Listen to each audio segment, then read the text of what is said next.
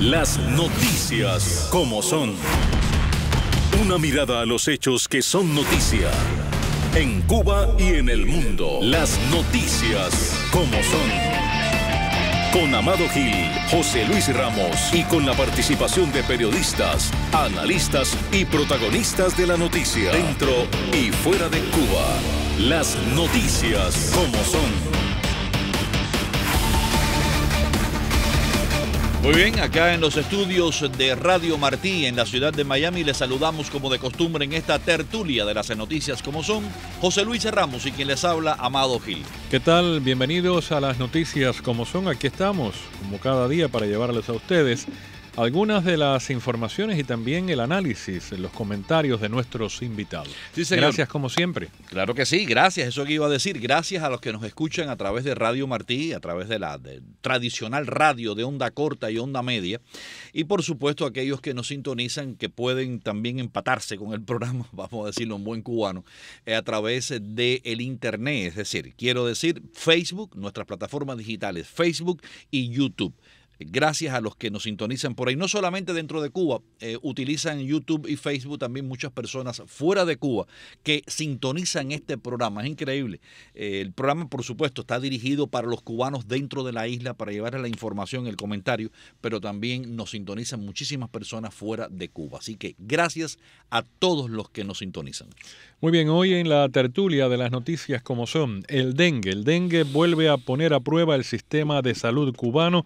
Recogemos la primera nota del diario digital 14 y medio. Muy difícil la situación, los hospitales están abarrotados, la gente enfermándose, no hay medicina. Hay gente que incluso he escuchado decir que evitan ir al hospital porque se les complica más la vida yendo al hospital. Increíble. Después recogemos esta crónica de la agencia Prensa Asociada.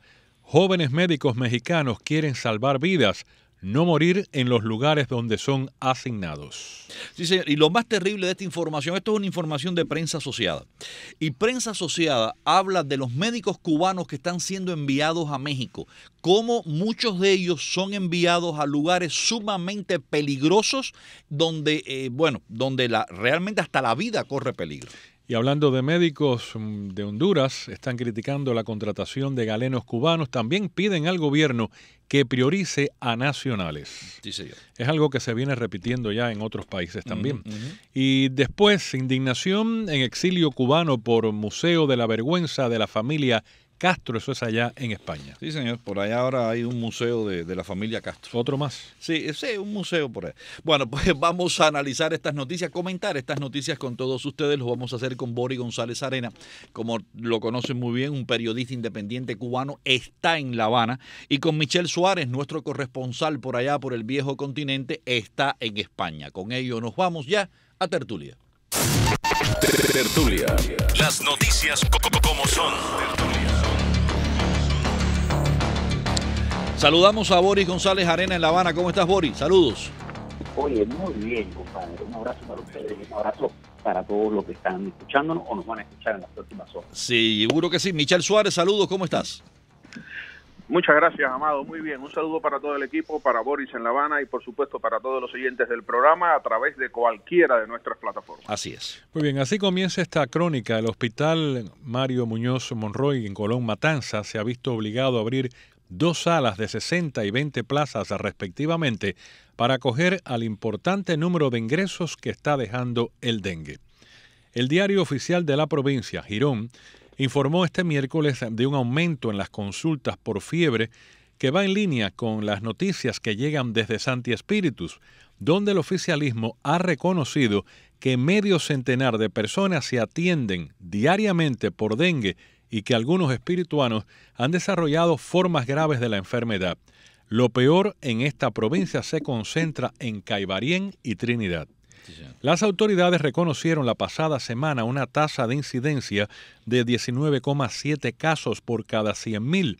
El propio ministro de Salud, José Ángel Portal Miranda, admitió en una rueda de prensa el crecimiento exponencial de la enfermedad en los últimos meses y afirmó que lo peor está por llegar. En abril la tasa de incidencia era de 12,2 por 100.000 habitantes, mientras en junio ya alcanzaba el 46,3. El dengue. El dengue se une, eh, por supuesto, a toda la situación que hay dentro de Cuba, a todas las penurias, y esto yo creo que hace muy bien ese titular del diario 14 y medio.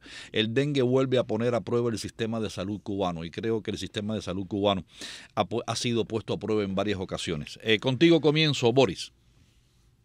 Hola, sí, eh, chico, eh, el aumento del dengue es sensible, o sea, hay personas alrededor de nosotros, los que vivimos, por ejemplo, en La Habana, que, que ya o lo están pasando, están en este momento. Conozco dos periodistas que lo están superando, por ejemplo, Camila Costa mm. y Jorge Enrique Rodríguez, no sé si también tuvo dengue, y una activista que se llama Leticia Ramos de Balanza, que es de dengue, que lo está recuperando. Como eso te digo que cuando te pican cerca es cuando se puede decir, oye, efectivamente. Boris, vamos a ver si mejoramos un poquito la señal que estamos pendientes de allá vamos, en La Habana. A ver.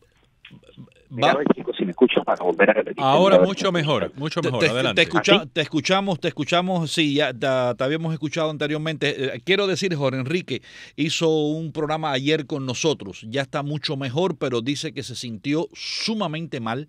Eh, por supuesto, no había pruebas para saber si era dengue o si era COVID o lo que era, pero bueno, pero sí estuvo bastante. Eso era lo que te quería decir. Exacto. Eso era lo que te quería decir. Díganme si se me escucha mejor ahora. Perfecto. Porque voy a hablar un poco más lento. Mm. Eh, ese es otro problema, el tema de, la, de los, los reactivos y esas cosas para diagnóstico, que ya hace mucho rato, cuando yo oigo las cifras de casos de COVID que da el gobierno cubano, lo que me digo es, pero esta gente no tiene ninguna vergüenza, porque es que hace mucho rato ellos no están haciendo eh, test diagnósticos de COVID. Yo tuve COVID hace unos tres meses, tres meses te hablo, y cuando yo llegué me lo dijeron, me dijeron hasta los dos años y personas mayores de 65 con padecimientos, no mayores de 65, mayores de 65 con padecimientos y creo que embarazadas.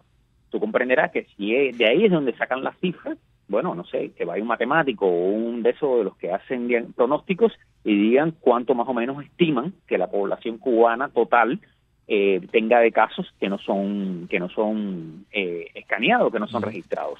Y lo mismo tiene que estar pasando con el dengue. No sé si creo que lo dijiste en la noticia o lo comentaste tú cuando comentaste la noticia. El gran problema de que no ahora y no por el dengue. Los cubanos evitamos hace mucho ir a un hospital hasta que no sea absolutamente necesario. Pero el problema es que los mismos médicos te lo dicen. ¿eh? Los médicos cuando yo tengo dos hijos chiquitos, o sea, son adolescentes, toda la infancia de mis hijos, cuando mis hijos estaban ingresados, lo que me decían los amigos pediatras o los pediatras con los que más confianza en los hospitales, me decían, sácalo de aquí cuanto antes. Así. Sí. Claro, era difícil decirte cuando tú tienes a un niño en una sala respiratoria, te hablo de testimonio directo, y por la ventana de al lado pasa el cemento sin ningún tipo de protección de un, un elevador que está reparando arriba, el piso de arriba en el balcón. Entonces, evitar ir al médico es algo que estamos evitando hace muchísimo tiempo y ahora sencillamente se acentúa. Porque lo que sí te aseguro es que esta frase que dicen en Cuba siempre ha sido así, no, en Cuba siempre ha estado mal después del 1959, todo tipo de servicios, pero siempre es un poco peor. Y lo que estamos viviendo hace tres años es bastante peor. Vamos. Entonces, eh, ahí te lo dejo, ahí te lo dejo, pero, pero bueno, la situación es bien delicada. Y luego que nos fumigan, eso que tratarlo también. Exactamente, eso. Y, tenemos, seguimos teniendo problemas con el teléfono. Vamos, eh, Jaime, nuestro productor va a volverse a comunicar contigo a ver si mejoramos. Mientras tanto, vamos a pasar a, eh, a Michelle. Solamente quiero decir que con esto que terminó Boris, yo creo que es lo más grave que hay eh, con este problema del dengue en Cuba. No hay fumigación, no se está fumigando, no hay, digamos, este, este, lo que se usa para matar el vector, para matar el mosquito Aedes aegypti, no hay fumigación. Por lo tanto, con, el control del mosquito ha desaparecido. No se puede controlar el mosquito, entonces no se va a poder controlar el dengue. Eh, Michelle. Eh, bueno, cuando escuchaba a Boris hablar, eh, recordaba una frase que tú, Amado, dices en muchas ocasiones, y es que la posibilidad de ir a peor es ilimitada, ¿no? Y, eso en relación con la salud pública cubana eh, no dan ganas de reír ni mucho menos, sino prácticamente de llorar, porque yo creo que el gobierno cubano, aunque está hablando del dengue, no está diciendo exactamente la realidad del país, porque yo al menos no conozco la cifra verdadera de muertos por provincias, por ciudades. Se habla a veces de la tasa de incidencia por cada eh, 100.000 eh, habitantes, pero en realidad no hay una percepción de riesgo, o mejor dicho, una información que contribuya directamente a la, a la percepción de riesgo. En cualquier país del mundo hay una escala en los sistemas de emergencia eh, nacional que se comienzan a aplicar. En unos son el rojo, el amarillo, el verde, en otros son estado de emergencia, emergencia sanitaria, emergencia médica, en fin. Esto para el gobierno cubano no existe, al, parecer, ni siquiera decretaron un estado de emergencia cuando la pandemia eh, de COVID y ahora eh, con el dengue estamos viendo más de lo mismo. Más de lo mismo de la potencia médica que es capaz de fabricar cinco vacunas eh, contra el COVID, pero la que no tiene abate ni nada con qué fumigar, ni reactivos para saber si las personas tienen una enfermedad o la otra. Y por lo tanto esta situación eh, de carencia absoluta de cualquier cosa con la que combatir al mosquito en Cuba que antes cuando había un poco más era ya difícil combatirlo, pues ahora sin estos procedimientos eh, para la fumigación y para contener los focos de, la Aedes aegypti es todavía más complicado. Por lo tanto, el gobierno cubano debería decretar una emergencia eh, nacional sanitaria y pedir inmediatamente ayuda, pedir ayuda humanitaria a la Organización Mundial de la Salud, a otros eh, gobiernos extranjeros para que eh, puedan llegar al país algunos recursos, no dinero, sino los recursos directamente para intentar combatir la epidemia. Sí, señor. Estás escuchando las noticias como son. Jóvenes médicos mexicanos quieren salvar vidas, no morir en los lugares donde son asignados. Comienza la nota diciendo, estudié para salvar vidas, no para perder la mía. El mensaje escrito en pancartas de decenas de jóvenes recién licenciados en medicina que son enviados a comunidades lejanas y peligrosas del país para completar su formación retumbó en México en diversas protestas. La última fue esta semana en Ciudad de México, aunque ya avisan los doctores que habrá más. El reclamo de los que son conocidos como médicos pasantes no es nuevo. Piden, entre otras mejoras, que no se mande a los más jóvenes, los menos experimentados y los peor pagados a los lugares más peligrosos del país. La violencia es tan grande que los médicos mexicanos tratan de evitar ser destinados a estados peligrosos, lo que ha obligado a México a importar médicos de Cuba. El primer contingente de estos doctores llegó la semana pasada. El presidente Andrés Manuel López Obrador reconoció a principios de año que dada la violencia existente en algunos lugares, los profesionales, los médicos, aunque estén en las plazas, no quieren ir porque la gente corre peligro. Asimismo, tenemos la nota de que integrantes del Colegio Médico de Honduras han criticado a su gobierno por la decisión de contratar a galenos cubanos cuando alrededor de 10.000 médicos nacionales se encuentran desempleados. A mí, a mí la situación de México me causa mucha preocupación. Le voy a pasar ya a Boris González Arena, pero eh, saber que hay médicos mexicanos recién graduados que están protestando porque los están mandando a lugares inseguros donde pueden perder hasta la vida a manos del crimen organizado y que sea el gobierno de México el que contrate médicos cubanos para suplir esas plazas a mí esto me llama, eh, bueno, la, atención muchísimo y, la verdad que esta noticia para mí tiene tremenda importancia. Y sobre todo lo que llama la atención es el silencio de las autoridades cubanas, sabiendo muy bien cómo está la situación ¿Y en México. ¿Y a ¿eh? dónde van ¿A dónde están enviándolos? Boris. Mira, llamé a Texas, me dijeron que no hay problema, que van a priorizar esta conexión nuestra a ver si, si me escuchan bien en lo que en lo que sigo con la noticia. Sí, ahora para ellos Radio Martí es una prioridad. O sea, así que espero, espero que me sigas oyendo. Si no me oyen bien, bueno, me interrumpen de nuevo y le dan paso a Michelle. Muy bien ahora. Mira, eh, la noticia dice salvar vidas, no perder la mía. Eso lo están diciendo los mexicanos que tienen plenos derechos. Pero en realidad, eh, para los médicos cubanos que importan estos países, precisamente muchas veces la, el destino es precisamente esos destinos a los que nunca han querido ir los médicos nacionales. Eso está pasando ahora en México, pero eso exactamente así pasó en Brasil y eso exactamente así pasó en Venezuela. En Venezuela violaron médicos y enfermeros cubanos y mataron médicos y no sé si enfermeros cubanos. Yo recuerdo que en una alocución todavía con Chávez de presidente, él pidió de favor que se cuidara y se protegiera a los médicos cubanos, algo que en Cuba no se dijo nunca y la cuando cuando vino la estampida no y los médicos se fueron muchísimos y crearon este grupo en Facebook que es fantástico y que fue ilustrador para todos acerca de la explotación médica, que fue en el 2017 y se llama No somos desertores, somos cubanos libres. Eh, ahí, ahí se empezaron a escuchar una cantidad de testimonios escalofriantes de lo que está pasando, de lo que pasaba en las misiones médicas, sobre todo, por supuesto, en la de Venezuela.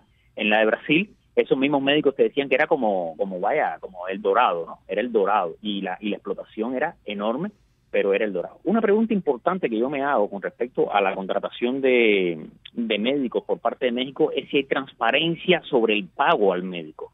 O sea, Brasil sí tuvo transparencia y en Brasil tuvo que haber, se tuvieron que hacer algunas reformas en el sistema precisamente porque, porque la sociedad civil brasileña se opuso a la explotación de los médicos cubanos de manera tan cruel como la, como la que se llevaba. Sin embargo, países como Venezuela, Ecuador y Bolivia no han tenido nunca ninguna transparencia acerca de los costos de lo que se paga por los médicos cubanos.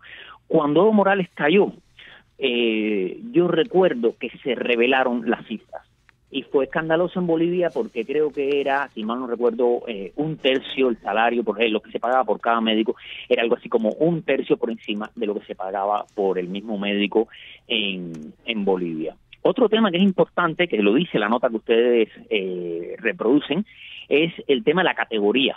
O sea, en los últimos años no es un secreto que a partir de exportar médicos y de que muchos médicos se quedaran, para nosotros los cubanos, eh, el servicio, la asistencia sanitaria en los hospitales es muy deficiente. No es que no haya médicos buenos, hay médicos que son extraordinarios, pero hay muchísimos médicos incompetentes, hay muchísima incompetencia y eso se revela en personas que llegan incluso a morir sin que nunca haya claridad acerca del diagnóstico. Entonces, lo que yo me pregunto es, porque el sistema de salud cubano está preparando médicos de corre-corre, lo que yo me pregunto es, es si hay alguna garantía de que esos médicos tienen la preparación necesaria. Por supuesto, esto no es que me lo estoy preguntando en el en abstracto.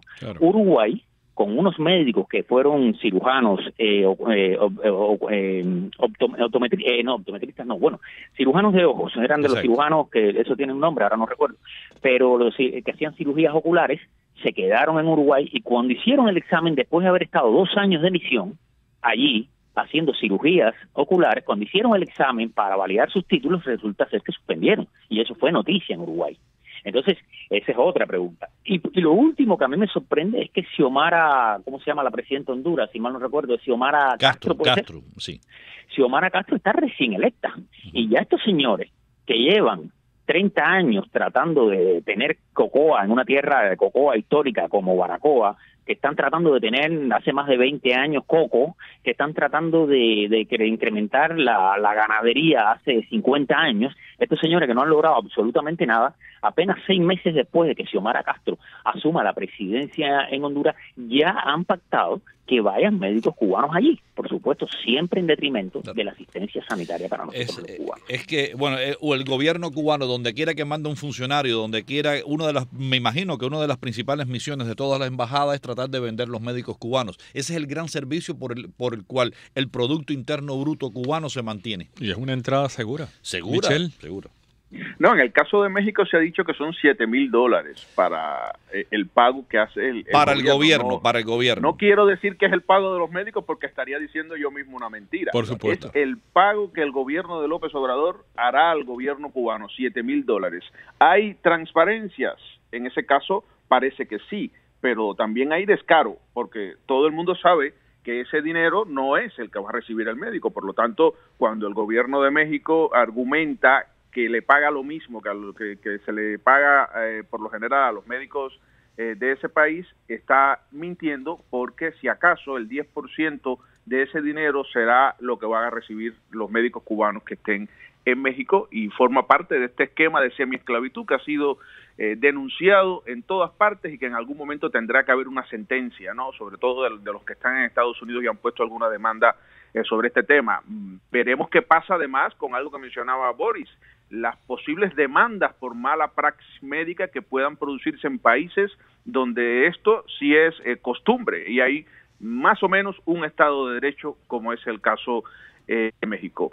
Eh, por otra parte, ya en este mismo programa, cuando se anunció por primera vez el tema de México, mencionamos las dos cuestiones que hay que tener en cuenta. En primer lugar, la seguridad de los médicos cubanos que está en entredicho, que es un problema en México para los mexicanos, imagínense, para el resto eh, de las personas. Y en segundo lugar, bueno, vamos a ver cuántos de estos médicos no tienen la tentación de cruzar la frontera. Estas son las dos cuestiones, en mi opinión, aparte del dinero y del salario y del régimen de semiesclavitud, que se me antojan que son prioritarias a darle eh, seguimiento en el caso de México. La seguridad, en primer lugar, y en segundo lugar, la frontera.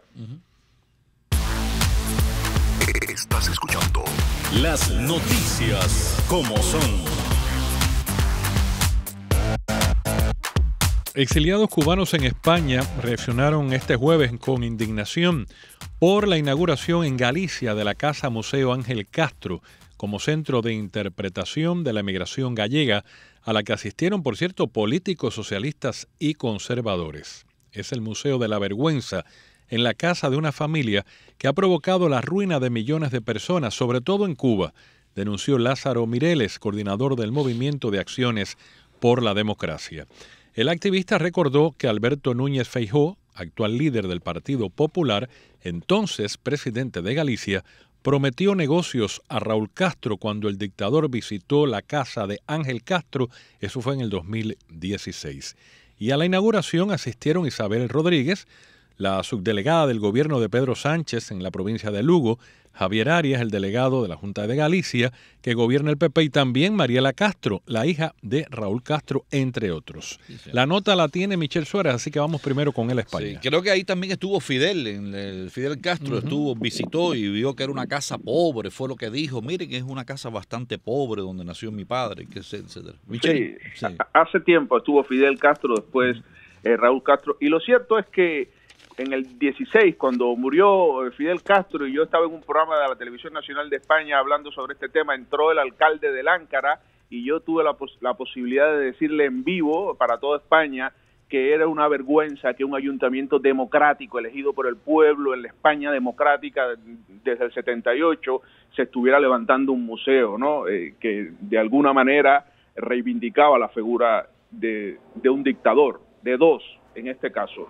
Entonces, eh, eh, este museo por fin, finalmente, ha llegado a, puerto, ha llegado a puerto y se ha hecho esta inauguración hoy y no han tenido ningún pudor los políticos españoles, tanto de izquierda como de derechas, en Galicia, que es una situación muy particular, de eh, apoyar la apertura de este museo, que supuestamente no está dirigido a la figura de Raúl y Fidel Castro, pero sí en el discurso de la representante del gobierno de Pedro Sánchez hoy, en la inauguración de este centro de, interpretación de la emigración gallega, dijo que eh, la familia que creó Ángel Castro en Cuba está en los libros de historia. hay una alusión directa o indirecta a Raúl y, y, Fidel Castro y desde luego no, y con esto termino, no me imagino en ningún, en Alemania que se haga un museo de la familia de Hitler, ni que en el propio Galicia se haga un museo donde nació el padre de Franco. De verdad que no me lo imagino. De hecho, España acaba de hacer una ley que penaliza cualquier elogio del franquismo. Así que para ellos es demasiado fácil eh, hacer cosas que le favorezcan a, a, los españoles, pero para los demás hay otras leyes. Fidel Castro estaba de visita en el 2017 y lo acompañó, me acuerdo, Manuel Fraga exacto. Bueno, de, de, todas maneras, lo que dice, sí, el museo es a la emigración, etcétera, etcétera, pero no lo hubieran hecho un museo a Ángel Castro si no hubiera sido el papá de Fidel y Raúl Castro. Eso, eso, se cae de la mata. Eh, Bori, nos queda un minuto exacto. Chicos, aquí lo único que yo quiero recordar, bueno, ya recordaron a Fraga, Fraga era un político conservador y franquista. Lo único que quiero recordar es que la política española, para nosotros los activistas y los defensores de derechos humanos, es siempre muy, muy difícil de entender porque lo que muchas personas no, no saben o no recuerdan es que las relaciones entre Franco y Fidel Castro fueron de amistad. La flota cubana de pesca y la flota mercante cubana, muchísimos de sus barcos eran barcos de procedencia española. Y, y, el acercamiento entre Franco y Fidel dio por resultado que incluso cuando murió Franco hubo cerca de tres días de duelo nacional en Cuba, lo que algunos recuerdan que no se hizo por Mao Zedong y se hizo por, por Franco. Entonces, la cercanía esa aproximación campechana o ese compadrazgo que, que, hay entre, ambas, entre políticos de ese país y el castrismo viene de hace mucho Y a eso se le suma, por supuesto, que ahora está el Partido Socialista Obrero Español, que recordarán que no tuvo absolutamente ninguna reacción enérgica cuando las protestas del 11 de, julio y la brutal represión del Castellón. Así mismo. Muy bien. Bueno, gracias a Boris González Arena desde La Habana, Michel Suárez desde España. Los periodistas hoy invitados a la tertulia. Y a ustedes, como siempre, gracias también.